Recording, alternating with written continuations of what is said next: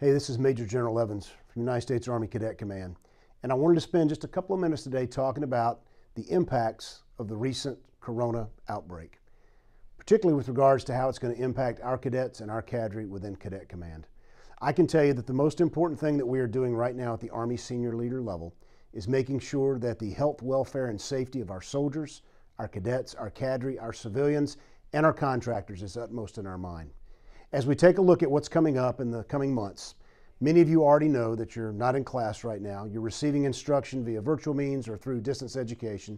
You're working on completing your degrees, and hopefully, you're still working on that content that you can control at your level uh, with regards to ROTC. We're going to ask you to continue to do that.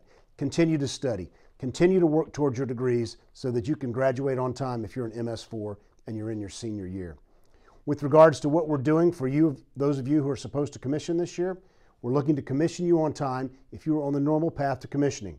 We will find a way within the authorities that I have or that reside with the Secretary of the Army to try to waive any requirements that you don't get finished as an MS4 so that we can commission you on time this summer and have you prepared to ship to BOLC as soon as it is appropriate within the Army confines of how we are restricting travel right now.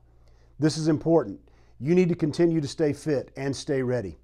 Now, let me talk to my younger cadets, particularly for our juniors who would be coming to advance camp this summer. We are working right now to determine how we will execute advance camp. The current restriction on movement means that we cannot execute advance camp as we currently have it planned. Right now, by the time we were able to get the team here, the RFF ready to execute camp, we're going to be well into June before we can invite cadets here. Because of that, what we may see is a truncation of the advanced camp curriculum. We may see larger than normal regiments. We may see some groups of cadets being given credit for advanced camp, while others will ask to continue to come to advanced camp. We're working through all of these possibilities right now. What I will tell you with absolute certainty is that no cadet will be disadvantaged based on their ability to attend or not attend advanced camp. If we have to truncate the curriculum or we have to tone things down, you will not be disadvantaged by that. So as we go into the OML and we start to set out your order of merit score, you won't be disadvantaged by virtue of things that you can't control with regards to advanced camp or your preparation to be at advanced camp. For our lateral entry students, we're also working on options for how we will conduct basic camp this year. I would ask you to please stay patient. Tie in with your cadre.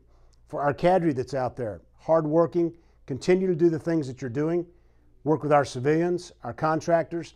Continue to listen to the instructions you're receiving from your academic institutions with regards to conducting classes and gathering in groups that might go against current guidance.